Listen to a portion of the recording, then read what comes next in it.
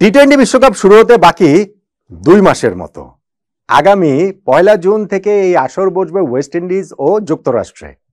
এখন ওয়েস্ট ইন্ডিজে তো বাংলাদেশিদের জন্য অনারেবল ভিসা বাংলাদেশের বিশ্বকাপ স্কোয়াডে যারা থাকবেন, তারা ওইখানে গিয়েই আসলে ভিসা পাবেন। কিন্তু যুক্তরাষ্ট্রের ক্ষেত্রে বিষয়টা তেমন নয়। আগে থেকে ভিসা নিয়ে যেতে হবে। এবং বাংলাদেশ ক্রিকেট বোর্ড ওই বিশ্বকাপ স্কোয়াডের কথা মাথায় রেখে বড় কলেবরে মানে পনেরো জনের বিশ্বকাপ স্কোয়াড তো, প্রায় তিরিশ জন ক্রিকেটারের ভিসা তারা করিয়ে রাখছে। যেন এটা সিলেকশন প্যানেল কোচ ক্যাপ্টেন তাদের ওই টিম সিলেকশনের পর ভিসা নিয়ে কোনো রকম কোনো জটিলতা আসলে পড়তে না হয়।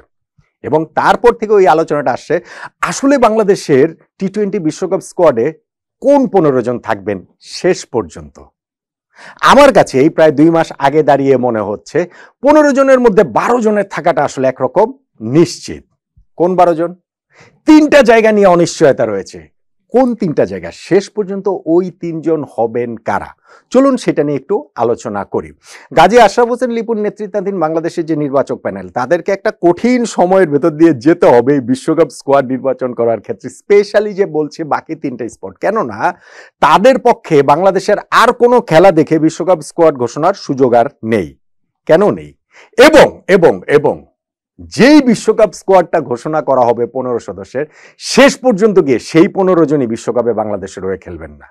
খেলবেন না। যাবেন না। সেটাই বা কেন? চলুন এই সব কিছু মিলেই আলোচনাটা করি।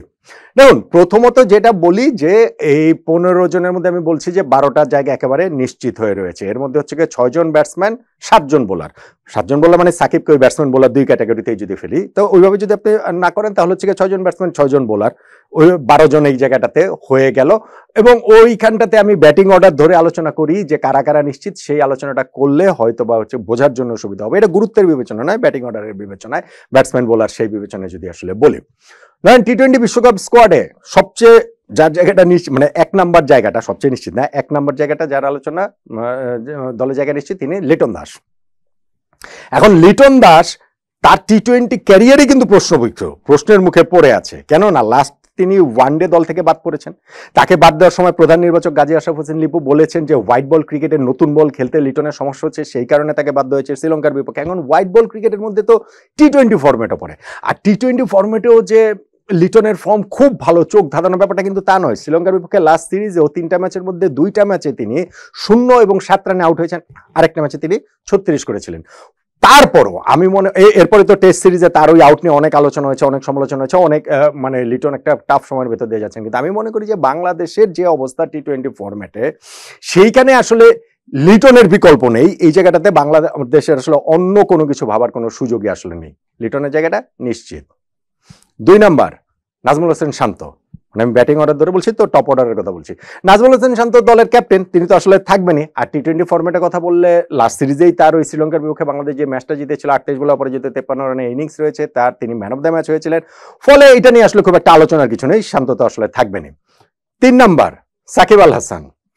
এখন সাকিব আল হাসান শ্রীলঙ্কার বিপক্ষে টেস্ট সিরিজটা খেলেছেন, সেটা প্রায় বছর খানেক পর তিনি টেস্ট খেলছেন। কিন্তু একই সঙ্গে সাকিব কিন্তু বাংলাদেশের হয়ে বছর খানেক ধরে টি টোয়েন্টিও খেলছেন না।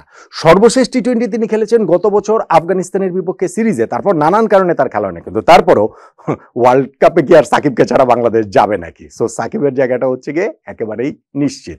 নিশ্চিতভাবে নিশ্চিত। কথা বলাই এটা আসলে বাহুল্য। চার নম্বর জায়গাটা নিশ্চিত হচ্ছে তাহিদ হৃদয়ের। ইন্টারেস্টিংলি তাহিদের টি টোয়েন্টি ফর্ম ইন্টারন্যাশনাল ক্রিকেটে ততটা ভালো না, যতটা আসলে ওয়ান ডে ফর্ম মানে ওয়ান ডে পারফরমেন্স যতটা ভালো। টি টোয়েন্টিতে তিনি চোদ্দোটা ম্যাচ খেলেছেন, তার মধ্যে তার কোনো ফিফটিও কিন্তু নেই এবং স্ট্রাইক রেটটাও যে চোখ ধাঁধানো তা না, মাত্র একশো ছাব্বিশ। কিন্তু কিছু কার্যকরী ইনিংস রয়েছে। ওই যে শ্রীলঙ্কার বিপক্ষে গত সিরিজ আমাদের জেতা ম্যাচটার কথা বলছিলাম শান্তমানাদ ম্যাচ হয়েছেন, সেখানেও তার পঁচিশ বলে অপরাজিত বত্রিশ রানের ইনিংস রয়েছে। আর আমাদের এখানে অপশনটাও খুব বেশি নাই। সঙ্গে তাহিদ হৃদয়ের ওয়ান ডে ফরম্যাটে হোয়াইট বলের আরেকটা ফরম্যাটে তার যে পারফরমেন্স বিপিএলেও তিনি দুর্দান্ত খেলেছেন। সবকিছু মিলিয়ে তার জায়গাটা আসলে একেবারেই নিশ্চিত। পাঁচ নাম্বার, মাহমুদুল্লাহ রিয়াদ। আর মাহমুদুল্লাহ রিয়াদকে কিন্তু এই লাস্ট সিরিজটাতে শ্রীলঙ্কার বিপক্ষে সিরিজটাতে তাকে দলে ফেরানো হয়েছে প্রায় দুই বছর পরে, দুই হাজার একুশ সালের পরে। তো ওইখানটাতে তিনি নেমেই প্রথম যে ম্যাচটা খেলেছিলেন, সেইখানে একত্রিশ বলে চুয়ান্ন রানের একটা দুর্দান্ত ইনিংস খেলেছিলেন। তারপরে যে ম্যাচটাতে ব্যাটিংয়ের সুযোগ পেয়েছেন, সেইখানে তিনি হচ্ছে গিয়ে ফার্স্ট বল ডাক মানে আউট হয়ে, শূন্য রানে তিনি আউট হয়ে চলে গেছেন। কিন্তু ওই যে একটা ইনিংস খেলেছেন, সেই কারণেই আমার কাছে মনে হয় যে বিশ্বকাপ স্কোয়াডে রিয়াদের জায়গাটাও নিশ্চিত। ছয় নাম্বার ব্যাটসম্যান হিসাবে লাস্ট যার জায়গাটা নিশ্চিত, সেটা আমার মর্চে মনে হয় জাকের আলী অনেক। এবং তিনিও কিন্তু ওই একটা ইনিংস খেলেছেন। জাতীয় দলে প্রথমবারের মতো মানে প্রথমবারের মতো ডাক পাননি, আগেও ডাক পেয়েছেন, কিন্তু প্রথমবারের মতো খেলার সুযোগ পেয়েছেন শ্রীলঙ্কার বিপক্ষে এবং সেই সুযোগটা পেয়ে তিনি চৌত্রিশ বলে আটষট্টি রানের একটা দুর্দান্ত ইনিংস খেলেছিলেন মাহমুদুল্লাহ রিয়াদের সঙ্গে তার পার্টনারশিপটা বাংলাদেশকে প্রায় জিতিয়ে দিয়েছিল, শেষ পর্যন্ত জিততে পারেননি। কিন্তু ওই ইনিংসটা খুবই প্রশংসিত হয়েছে। তারপরে আরেকটা ম্যাচে ব্যাটিংয়ের সুযোগ পেয়ে কিন্তু অনেক খুব ভালো করতে পারেননি। তেরো বলে চার রান করেছেন। কিন্তু ওই যে একটা ইনিংস খেলেছিলেন, সেই কারণে আমার কাছে মনে হয় যে তারও জাতীয় দলের হয়ে টি টোয়েন্টি বিশ্বকাপ স্কোয়াডে থাকাটা একরকম নিশ্চিত। তো আমার কাছে মনে হয় যে শেষ, এই যে ছয়জন ব্যাটসম্যানের জায়গা এখন পর্যন্ত নিশ্চিত। আমি যে বারো জনের কথা বলছিলাম, লিটন দাস, নাজমুল হোসেন, শান্ত, সাকিব আল হাসান তাওহিদ হৃদয়, মাহমুদুল্লাহ রিয়াদ এবং জাকের আলী অনেক। এবার আসুন ছয়জন বোলার, কারা কারা নিশ্চিত? যদি আমি স্পিনারদের কথা বলি, তাহলে তো ওদিকে সাকিব তো আছেনই। এখানে সেকেন্ড স্পিনার হিসেবে শেখ মাহেদি হাসানের জায়গাটা নিশ্চিত বলে আমার কাছে মনে হয় সাত নাম্বার।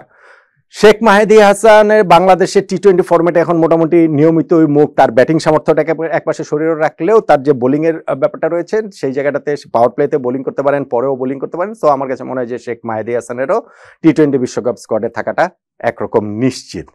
আট নাম্বার যে জায়গাটা, সেটা হচ্ছে গিয়ে রিশাদ। রিশাদ হোসেন লেগ স্পিনার, তিনি কিন্তু মূলত হচ্ছে গিয়ে লেগ স্পিনার, কিন্তু তার যে আমি বলছি টি টোয়েন্টি বিশ্বকাপ স্কোয়াডের জায়গাটা নিশ্চিত, সেটা মূলত তার ব্যাটিং এর কারণে। শ্রীলঙ্কার বিপক্ষে লাস্ট সিরিজটাতে ওই যে তিনি একটা ইনিংস খেলেছিলেন টি টোয়েন্টিতে যে, যেখানে হচ্ছে গিয়ে তিনি ওই কত, তিরিশ একত্রিশ বলে তিনি চুয়ান্ন রানের একটা ইনিংস খেলেছিলেন। তারপরে ওয়ানডে তো আবার আঠারো বলে আটচল্লিশ রানের ওপরে যদি একটা দুর্দান্ত ইনিংস খেলেছিলেন। সো ওইটাই আসলে বেশি করে চোখে পড়েছে। টি টোয়েন্টি সিরিজে তিনটা ম্যাচে কিন্তু তিনি তিনটা উইকেট পেয়েছেন, কিন্তু যত না বোলিং তার চেয়ে বেশি ব্যাটিং আমার কাছে মনে হয় যে ওই একটা ম্যাচের পারফরমেন্স এই টি টোয়েন্টির কথা যদি বলি, তাহলেও তার ওই যে জায়গাটা আসলে নিশ্চিত হয়ে গিয়েছে। ছয় ব্যাটসম্যান দুই স্পিনার মানে সাকিবকে নিলে তো আসলে তিন স্পিনার এই টোটাল আটজন। সঙ্গে হচ্ছে গিয়ে আমার যে বাকি চারজন নিশ্চিত মনে হয়, সেই চারজন হচ্ছে গিয়ে পেস বোলার এইখানে আমার মনে হয় ধরেন number nine Taskin Ahmed number ten Mustafizur Rahman number eleven হচ্ছে গিয়ে শরীফুল ইসলাম এবং নাম্বার টুয়েলভ হচ্ছে গিয়ে তানজিম সাকিব। এই যে চারজন পেস বোলার বাংলাদেশের, সেই চার পেস বোলারের বিশ্বকাপ স্কোয়াডে থাকা নিয়ে খুব বেশি আলোচনার কিছু নেই। এই মুহূর্তের কথা যদি বলি, তাহলে তারাই আমাদের হাতে সম্ভাব্য সবচেয়ে ভালো অপশন ফলে এই চার পেস বোলার নিয়ে শিওরলি আমরা বিশ্ব বিশ্বকাপে তো আর আমরা চারজনের কম পেস বোলার নিয়ে যাব না। সো এই চারজন আমাদেরকে নিশ্চিতভাবেই থাকবে। টোটাল হয়ে গেল তাহলে এই বারো জনের বিশ্বকাপ স্কোয়াডে থাকার নিশ্চয়তা এই মুহূর্তে রয়েছে। বাকি তিনটা স্পট আসলে কারা? কাদেরকে আসলে নেওয়া হবে? আমি শুরুতে একটা কথা বলছিলাম যে লিপু ভাইদের যে নির্বাচক প্যানেল তাদেরকে আসলে এই জায়গাটাতে তাদের গাট ফিলিংয়ের উপর নির্ভর করতে হবে। তাদের আর অন্য ম্যাচ দেখে প্লেয়ার সিলেকশনের সেই সুযোগটা আর নেই। সুযোগটা নেই কেন? কেননা বিশ্বকাপ স্কোয়াড ঘোষণা করার লাস্ট ডেট হচ্ছে গিয়ে মানে ডেডলাইনটা হচ্ছে গিয়ে এই আগামী মাসের এক তারিখ। সো পহেলা মের মধ্যে আপনার হচ্ছে গিয়ে বিশ্বকাপ স্কোয়াডটা দিতে হবে। বাংলাদেশের টি টোয়েন্টিতে নেক্সট খেলা যেটা জিম্বাবুয়ের বিপক্ষে সিরিজ সেই সিরিজটা কিন্তু শুরু হবে মে মাসের, আমাদের প্রথম ম্যাচটাই মে মাসের তিন তারিখ। তিন, পাঁচ, সাত, দশ, বারো, এই হচ্ছে কি আমাদের পাঁচটা ম্যাচ সো ওই সিরিজ শুরু হওয়ার আগেই কিন্তু আমাদেরকে বিশ্বকাপ স্কোয়াডের পনেরো জনের নামটা দিতে হবে। সো লিপু ভাইদেরকে এই জায়গাটাতে ডিসিশন নিতে হবে যে কোন পনেরো জন। এখন একই সঙ্গে আমি আবার বলছিলাম যে এই কি কারণে হচ্ছে কি যেই পনেরো জনের নাম ঘোষণা করা হবে ফাইনালে গিয়ে সেই পনেরো জন থাকবেন না। আচ্ছা কি কারণে সেটা বলছি? সেটা বলি, তার আগে পরে বলি, তার আগে বলি হচ্ছে বাকি তিনটা স্পট আসলে কাদের কাদের নেওয়া হতে পারে, কারা ওই জায়গাটাতে দৌড়ে রয়েছেন। এখন ছয়জন ব্যাটসম্যানের কথা বলছিলাম। এই জায়গাটাতে অন্তত আরও দুইজন ব্যাটসম্যান অবশ্যই নেওয়া হবে। স্কোয়াডে পনেরো জনের বিবেচনা যদি করি এবং দুইজন নেওয়া হলে আপনি দেখেন ওপেনার হিসেবে প্রপার ওপেনার হিসেবে শুধুমাত্র লিটন দাস রয়েছেন। সেখানে আরেকজন ওপেনার তো অবশ্যই লাগবে। আরও দুইজন ওপেনার কি নিয়ে যাওয়া হবে? নাকি আরেকজন ওপেনার নিয়ে সঙ্গে মিডল অর্ডারে আবার একজনকে নিয়ে যাওয়া হবে? মিডল অর্ডারে যদি একজনকে নিয়ে যাওয়া হয় বা মিডল অর্ডারে সেই জায়গাটাতে আমার মনে হয় যে শামীম পাটোয়ারি এবং আফিফ হোসেন ধ্রুব এই দুইজন হিসাবের মধ্যে থাকবেন। এই দুইজন আলোচনার মধ্যে থাকবেন, দুইজনের একজনকে নেওয়া হতে পারে। কিন্তু কিন্তু কিন্তু আমার মনে হয় এই জায়গায় একজনকেও নেওয়া হবে না। আমাদের ওইখানে লিটনের সঙ্গে আরও দুইজন প্রপার ওপেনার নিয়ে যাওয়া হবে। আমরা ওয়ান ডে বিশ্বকাপে স্কোয়াডে দেখেছি যে ওইখানে শুধুমাত্র দুইজন ওপেনার নিয়ে যেয়ে কীরকম স্ট্রাগল পরবর্তীতে বাংলাদেশকে করতে হয়েছে। ফলে স্কোয়াডের ব্যালেন্সের কথাটা তো সব কিছু বিবেচনা করে আমার কাছে মনে হয় যে ওই জায়গাটাতে ব্যাটসম্যান যে দুইটা স্পট বাকি রয়েছে ব্যাটিংয়ের সেইখানে দুইজনই আরও ওপেনার থাকবেন। প্রশ্ন হচ্ছে কোন দুইজন আর নিয়ে যাওয়া হবে? একটা নাম আপনি বলতে পারেন যে সৌম্য সরকার। যে সৌম্য সরকারকে বাংলাদেশ টিম রেগুলার খেলাচ্ছে, সাম্প্রতিক সময়ে তিনি বোলিংটাও করতে পারেন টুকটাক। সো সব কিছু মিলে সৌম্য কি কারণে থাকবে না? কিন্তু আমার কাছে সৌম্যর জায়গাটা একেবারে ফিক্সড বলে মনে হয় না। প্রথমত তার যে টি টোয়েন্টি ক্রিকেটে তার যে পারফরমেন্স শ্রীলঙ্কার বিপক্ষে সর্বশেষ সিরিজটাতে তিনি তিনটা ম্যাচ খেলে কিন্তু করেছেন বারো রান, ছাব্বিশ রান এবং এগারো রান। কোনোটাতে কিন্তু খুব একটা ভালো করেননি। এবং যদি আপনি টি টোয়েন্টির কথা বলেন, তাহলে সেই দুই হাজার একুশ সালের পর থেকে ওইখানে তিনি হচ্ছে গিয়ে ওই নিউজিল্যান্ড জিম্বাবুয়ের বিপক্ষে পাঁচ ম্যাচের মধ্যে তিনটা ফিফটি করেছিলেন। এরপরে একুশটা টি টোয়েন্টি ম্যাচে তার কিন্তু সর্বোচ্চ স্কোর এই যে লাস্ট সিরিজে যে ছাব্বিশ করেছেন, সেইটাই সর্বোচ্চ স্কোর এবং একুশটা ইনিংসের মধ্যে হচ্ছে গিয়ে এগারোটা ইনিংসের সম্ভব আউট হয়েছেন সিঙ্গেল ডিজিটে দুই হাজার একুশ টি টোয়েন্টি ওয়ার্ল্ড কাপের আগে তাকে নিয়ে আসা হয়েছিল, সেই এক্সপেরিমেন্ট বা সেই প্রজেক্ট ফেল করেছে। দুই হাজার বাইশ টি টোয়েন্টি ওয়ার্ল্ড কাপের আগে আবারও সৌম্যকে হুট করে নিয়ে আসা হয়েছিল, সেই প্রজেক্টও ফেল করেছে। ফলে এইবারও কি সৌম্যর উপরে আবারও আস্থা রাখা হবে কিনা, এটা একটা বিগ কোয়েশ্চেন মার্ক রয়েছে। পাশাপাশি সৌম্য কিন্তু ইঞ্জুরিতে আক্রান্ত। সো তিনি আসলে কতটা ফিট হতে পারবেন বা ফিট হয়ে রিদমে আসতে পারবেন সেটাও একটা প্রশ্নের বিষয়। সৌম্য ছাড়া এই জায়গাটাতে যদি আপনি ওপেনার হিসাবে বলেন যে গত সিরিজে আমাদের দলে ছিলেন এনামুল হক বিজয় এবং নাইম শেখ। এই দুইজনে কিন্তু শ্রীলঙ্কার বিপক্ষে সিরিজে স্কোয়াডে ছিলেন, কিন্তু কোনো ম্যাচ তাদেরকে খেলানো হয়নি। এই দুজনেই লাস্ট ন্যাশনাল টিমের পক্ষে টি টোয়েন্টি খেলেছেন আরও প্রায় দুই বছর আগে। সো এইখানটাতে কি বাংলাদেশ এই দুইজনের কাউকে কি আবার ওপেনার হিসেবে বিবেচনা করবে কি না নাকি এইখানে রনি তালুকদার, যিনি গত বছর আমাদের টি টোয়েন্টিতে রেগুলার ফিক্সার ছিলেন, কিন্তু শেষ পর্যন্ত এবার এসে হচ্ছে কি দলের জায়গাটা হারিয়েছেন, তাকে আবার ফেরানো হবে কিনা? নাকি নাকি নাকি তানজিদ হাসান তামিমের উপরে এখানে বাজিটা ধরা হবে। তানজিদ হাসান তামিমকে কিন্তু এই টি টোয়েন্টি স্কোয়াডে তিনি কেন নেই লাস্ট সিরিজটাতে কেন ছিলেন না সেটা নিয়ে অনেক আলোচনা হয়েছে, কেননা বিপিএল এর শেষটা তার হচ্ছিল দুর্দান্ত হয়েছিল এবং ওইটা বিবেচনায় রেখে, ওইটা মাথায় রেখে তাকে কি আসলে সুযোগটা দেয়া যাবে কিনা, এই কয়েকজন ওপেনারে কিন্তু শেষ পর্যন্ত আলোচনাতে থাকবেন। এবং আমি যেটা বলছিলাম যে ওপেনিংয়ে লিটনের সঙ্গে আরও দুইটা স্পট রয়েছে। সো সৌম্য, এনামুল হক, বিজয় তানজিদ হাসান, তামিম, নাইম শেখ, রনি তালুকদার, এই পাঁচজনের মধ্যে দুইজন যাবেন। আমার কাছে মনে হয় শেষ পর্যন্ত গিয়ে সৌম্য সরকার এবং তানজিদ হাসান, তামিম থাকবেন। তাহলে আগের ওই বারোর সঙ্গে এই দুই চোদ্দ হয়ে গেল। আর লাস্ট আরেকটা স্পট রয়েছে, পনেরো নম্বর স্পটটা সেইটা কি একজন এক্সট্রা পেস বোলার নিয়ে যাওয়া হবে? মানে পঞ্চম পেস বোলার নিয়ে যাওয়া হবে নাকি চতুর্থ স্পিনার নিয়ে যাওয়া হবে? চতুর্থ স্পিনার কেন? কারণ এখানে ধরেন সাকিব আছে, শেখ মাহেদি আছেন, সঙ্গে হচ্ছে গিয়ে আমাদের রিশাদ রয়েছেন। তিনজন কিন্তু স্পিনার রয়েছেন ফোর্থ স্পিনার নিলে এখানে। মেহেদি হাসান, মিরাজ বিবেচনা আসতে পারেন। মিরাজ যদিও গত সিরিজের আমাদের দলে ছিলেন স্কোয়াডে ছিলেন না, তার আগে নিউজিল্যান্ডের সফরে তিনি স্কোয়াডে ছিলেন ভাইস ক্যাপ্টেন হিসেবে ছিলেন, কিন্তু কোনো ম্যাচ খেলানো হয়নি। সো মিরাজও একটা আলোচনায় আসতে পারেন, তানভীর বাহাতি স্পিনার তিনি আলোচনাতে আসতে পারেন আলিস আল ইসলাম আলোচনাতে আসতে পারেন, যিনি কত সিরিজে শ্রীলঙ্কার বিপক্ষে তাকে প্রথমবারের মতো জাতীয় দলে ডাকা হয়েছিল, কিন্তু ইঞ্জুরির কারণে তিনি আর খেলতে পারেননি। এবং তাইজুলকেও ডাকা হয়েছিল প্রায় চার বছর পরে। তিনিও তাকেও কিন্তু ইঞ্জুরি না, তাকে আসলে কোনো ম্যাচে একাদশেই রাখা হয়নি।